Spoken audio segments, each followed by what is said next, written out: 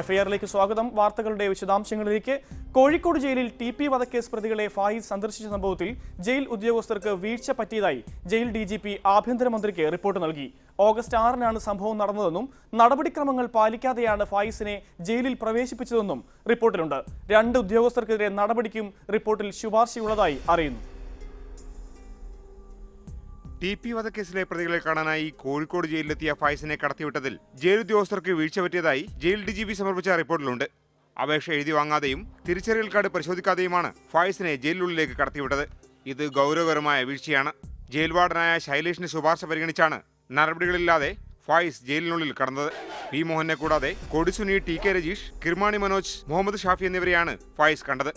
ഇവർ കൂടിക്കാഴ്ച നടത്തുമ്പോൾ നിരീക്ഷണം നടത്തേണ്ട ചുമതലയുണ്ടായിരുന്ന വെൽഫെയർ ഓഫീസർ സംഭാഷണം ശ്രദ്ധിക്കാതെ മാറി നിന്നതായും റിപ്പോർട്ടിലുണ്ട്. ഇതും വീഴ്ചയാണ്. ടി പി വധക്കേസിലെ പ്രതികളും ഫായ്സും മാഹിയുടെ പരിസര പ്രദേശങ്ങളിൽ നിന്നുള്ളവരാണ്.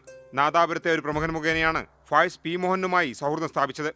ഫായ്സ് ടി പി വധക്കേസിലെ പ്രതികളെ കണ്ടത് സ്ഥിരീകരിച്ചതോടെ ടി പി വധക്കേസുമായും അതിന്റെ സാമ്പത്തിക സ്രോതസ്സുമായും ഫായ്സിന് ബന്ധമുണ്ടെന്ന് വിവിധ കോണുകളിൽ നിന്ന് ആരോപണം ഉയർന്നു കഴിഞ്ഞു.